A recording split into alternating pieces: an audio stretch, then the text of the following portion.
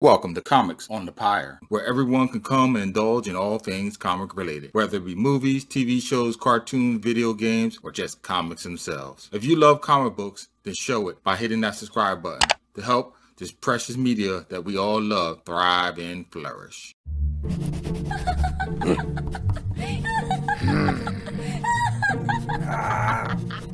With the movie Birds of Prey coming out early of next year, and with my video overview of the comic Harleen issue 1 that can be found here on this channel, I decided to take a look at Harley Quinn's original comic book origin story that debuted in the Batman Adventures titled Mad Love.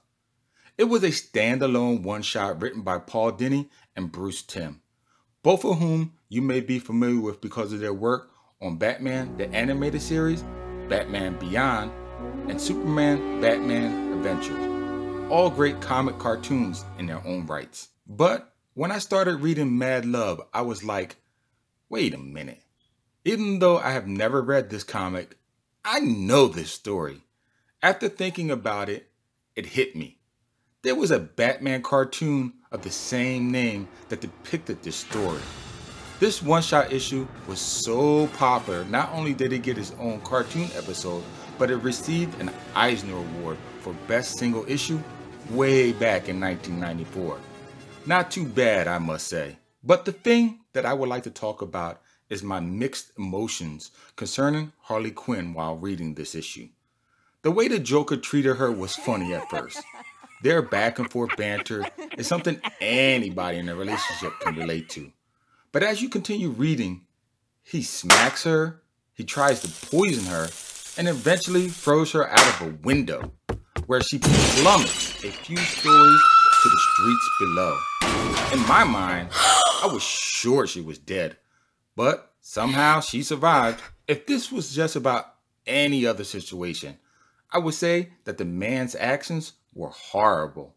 But this is a comic, a medium of suspended disbelief. But I also believe that Harley, Harley, she's no angel herself as Batman clearly states in this issue. She was a bad apple way before she met Mr. J.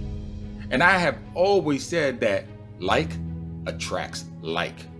In life, you don't always get who you want, you get who you are. On some level, your mate reflects your internal values, whether you know it or not.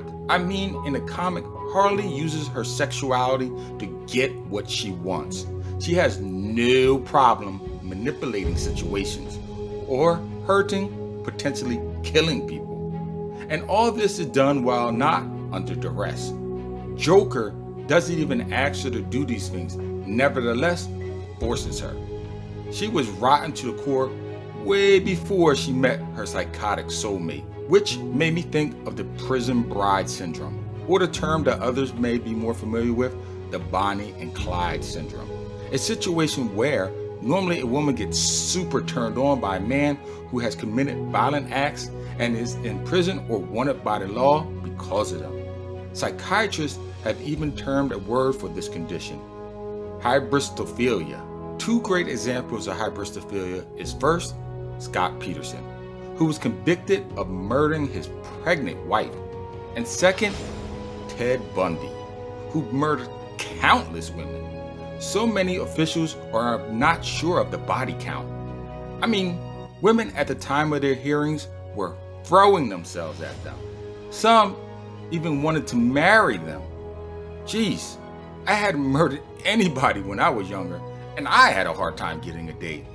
Goes to show you what I knew about women. The whole situation is very confusing for me. Well, what do you think? Is Harley a victim of dysfunctional love or manipulating the situation for her own perverted enjoyment? Either way, drop a line in the comments below. After that, feel free to visit my YouTube channel, Comics on the Pyre, for other videos like this one. Tap that bell icon before you go, and oh yes, as always, until next time, keep reading my friends.